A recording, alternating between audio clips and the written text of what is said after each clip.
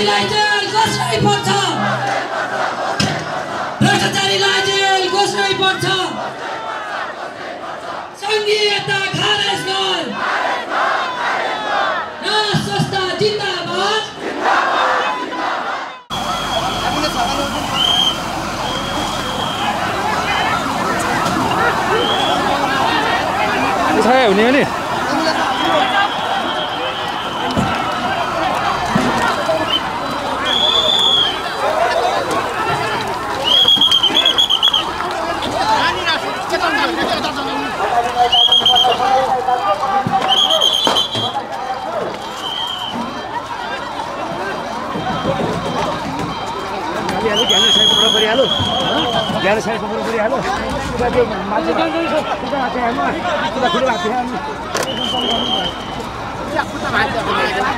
थियो